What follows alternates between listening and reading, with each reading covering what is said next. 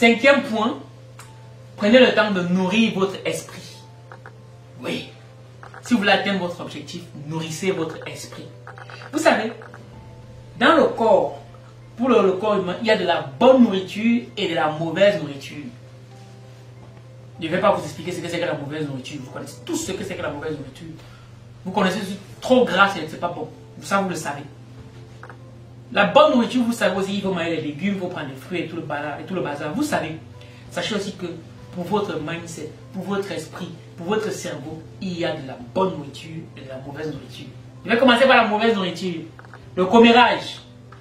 Les, comment ça s'appelle là? Les, les trucs que vous montrez beaucoup à la télé, euh, la télé-réalité. Euh, il y a encore quoi là? C'est qu'il y a un truc qui passe beaucoup en Afrique là. Les télé-novelas. Voilà. Ça, c'est la mauvaise nourriture parce qu'en soi, ça vous construit pas du tout. Ça ne vous permet pas d'atteindre vos objectifs. À moins que vous ne souhaitiez faire du cinéma plus tard. Ok, ce sont vos valeurs, ce que vous voulez faire, d'accord. Mais pour quelqu'un qui est en business, qui veut gagner de l'argent, les télénovelas, je ne sais pas trop à quoi ça pourrait lui servir. Mais si vous trouvez votre intérêt, que ça, peut vous, ça vous permet d'atteindre votre objectif, ça va. Maintenant, aussi, une autre mauvaise nourriture, la mauvaise compagnie. Ça, c'est fatal. La mauvaise compagnie, c'est fatal. Parce que si vous êtes avec des gens qui vous disent que vous ne valez rien, vous n'allez jamais y arriver, vous n'êtes pas assez bon, pourquoi vous continuez à rester avec eux? Si vous êtes avec des gens qui vous poussent toujours à dépenser, pourquoi vous continuez à marcher avec eux? Ça, c'est aussi le vice. Lorsqu'on va atteindre certains objectifs, c'est que par moment, on va perdre beaucoup d'amis. Mais l'avantage, c'est que en perdant certains amis, on en trouve d'autres avec la même vision. Et en rejoignant la communauté des chercheurs d'agences certifiés, vous allez trouver des amis avec vous avez la même vision. Ok. Donc, la bonne nourriture maintenant, ce sont des vrais livres. Par exemple, si vous voulez bâtir un corps de rêve, vous lisez le livre de Arthur Yumu, Ton corps de rêve dans la vraie vie. Si vous voulez développer votre mindset financier, vous lisez le livre de Valère Bélias, Un pied à l'école, un pied dans le business, les pauvres sont égoïstes le Ricardo Kanyama, la chef de ma mère. Si vous voulez être bon à l'école, lisez le livre de Wesley, l'excellence scolaire. Vous voulez vous lancer en business, vous ne savez pas comment faire, lisez le livre de, de comment il s'appelle, euh, Valdez Photo, le QCM de l'entrepreneur africain. Vous avez peur de l'échec, lisez le livre de Kelly Monte, dépasser la peur de l'échec. Vous voulez bâtir votre esprit, lisez le livre de, euh, Olivier Djemeleu, le secret de votre esprit. Oui, c'est ça la bonne nourriture pour l'esprit. Si vous voulez que votre couple soit épanoui, lisez les livres qui vous apprennent comment bâtir un couple. Parce que ça aussi, ça s'apprend. Oui, ça s'apprend.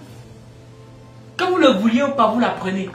Mais maintenant, si vous voulez l'apprendre consciemment, il faut, que vous ayez la démarche d'aller chercher les documents qui vous permettent d'en apprendre un peu plus sur le sujet. C'est comme ça que ça marche.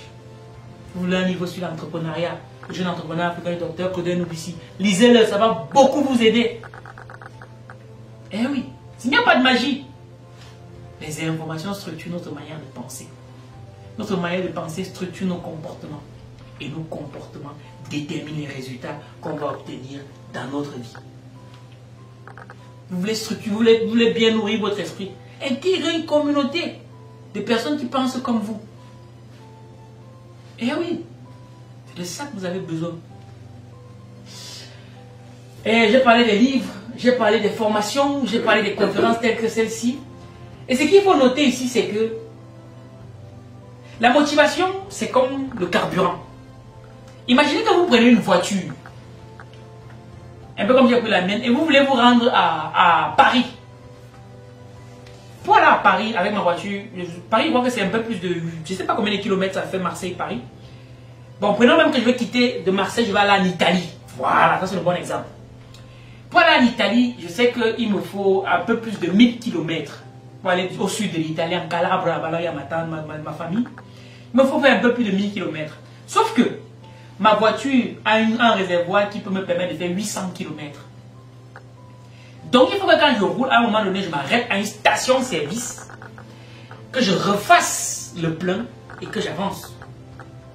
Avec la motivation, c'est exactement la même chose. Vous ne pouvez pas être motivé de tous les jours, ce n'est pas possible. Mais maintenant, si vous voulez quand même avoir, vous allez avoir des motivations, la motivation monte, ça descend. Si vous voulez avoir tout le temps des pics, il faut que vous puissiez continuer à nourrir votre esprit avec des livres, avec des formations, avec des conférences, en discutant avec des experts. Parce que le simple fait de discuter avec un expert, de lire un livre, ça donne une nouvelle idée. Tu dis non, il faut que je teste cette idée. Ah, j'ai découvert un nouveau truc, il faut que je teste ça. Tu as envie, et c'est ça qui te motive. Le jour que tu arrêtes d'apprendre, tu vas voir, ta motivation ne va faire que couler. C'est d'ailleurs pour ça que beaucoup de gens, ils ont tout vu, tout entendu dans un secteur d'activité, et ils commencent à s'ennuyer. Parce qu'ils ont tout fait là-dedans. Du coup, ben, la motivation, ils n'apprennent plus rien. Donc, ben, ils ont arrêté de nourrir leur esprit. De la motivation, ça me nuit aussi. Ils s'ennuisent.